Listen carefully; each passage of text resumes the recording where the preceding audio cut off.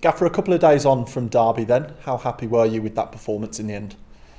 Very happy to to get our first win at home in front of our own fans. Um, I think we looked solid and created some good chances. So overall, I think it was a, a really professional performance. Mm, Scott, o- Scott Hogan opened the scoring. That's three and six for him. How good is it to see him firing and playing football with a smile on his face as well? Yeah, I just had a chat with him after training there and said, "How do you feel?" And he, says he feels the fittest he's felt in years and he's in a good place.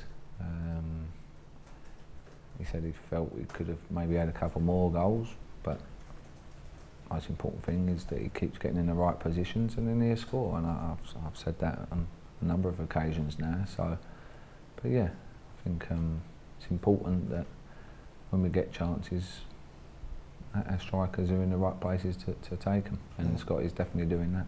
Clean sheet as well. How much praise must go to not just the back line, but also Matty Sarkic as well, who's really been thrown in at the deep end. How impressed have you been with him?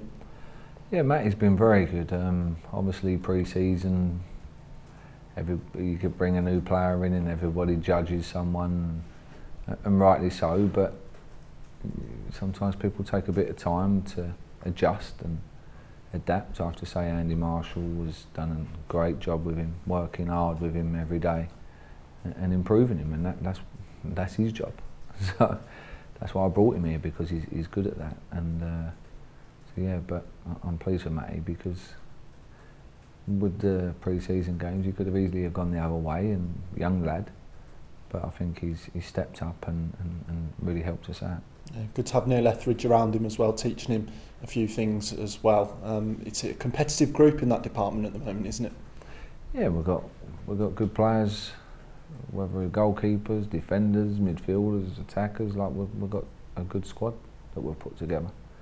So competition for places, everybody pushing each other, and that brings out the best of everyone because they know if they don't produce their best and keep to that level, then someone else will come in and take their place. On to Wednesday against Fulham, and I suspect a really good opportunity for this group to really test themselves against one of the league's best. Yeah, it's going to be a tough game. Obviously, Fulham just come down. Very, very good side, good squad. Strength and depth is is, is frightening, really. Uh, but we're at home.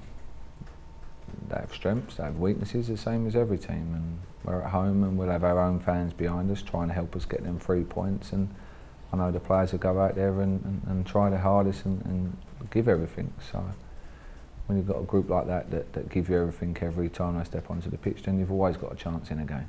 What will you expect from Fulham? We've seen them once already at home at St Andrews in the Cup. Much changed, I suppose. What will you expect from them this time around? Uh, similar. They they move the ball well.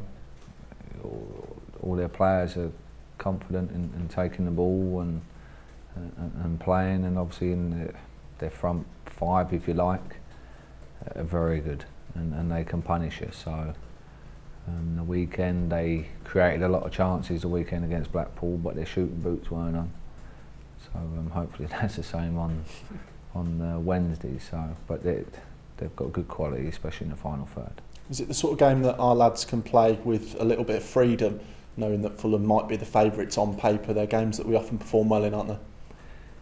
Yeah, but I like to think that no matter what team we step out against, we're, we're going to try and win. And, and, and there's that group in there. They won't be fearing Fulham. They'll respect them because every team you play against, whether it's Fulham or if it's a team at the bottom of the division, you have to respect them. And, and we will respect them, but the most important thing is that we don't forget what we're good at as well. And, and then i i we've got to make it as difficult as, as we possibly can for, for Fulham to, to leave with any points. A word on the fans. We had them uh, back over the weekend, which was great. How much of an impact can they make in games like this on, on Wednesday night? Massive impact because like an extra 5,000 people was a lot of people and, and, and you could tell with the, with the noise, you know. Um, it was great. It was great for me and to see everybody happy and celebrating after the game especially and the, the, the players and the fans having that connection, that, that respect for each other and appreciation for each other and so um, yeah, it was, it was great to see them all back in. And lastly, on the squad, any injuries to report early on this week or not? No, all good. All good. Obviously, ran with his with his stomach, but apart from that, we're, we're as we as we were.